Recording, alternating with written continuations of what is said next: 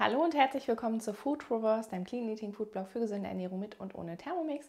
Den brauchen wir heute gar nicht, denn wir stellen heute ganz einfach Pommes her aus Kartoffeln, würzen die und ölen die natürlich gut ein. Und ähm, ja, wie das Ganze funktioniert, das seht ihr hier mit unserer Gemüsefix-Mandoline von Pemberchef, denn die zerkleinert eure Kartoffeln perfekt zu Pommes und das in Sekunden. Ich würde sagen, es geht los.